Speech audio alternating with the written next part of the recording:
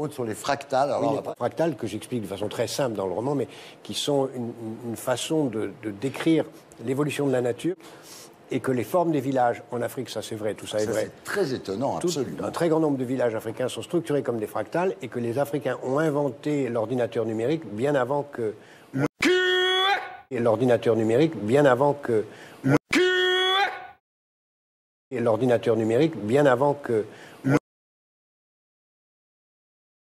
et eux ont inventé une façon de prévoir l'avenir qui est exactement ce qu'on appelle le code binaire ou le code booléen en, en- en mathématiques modernes, qui a donné l'ordinateur numérique d'aujourd'hui.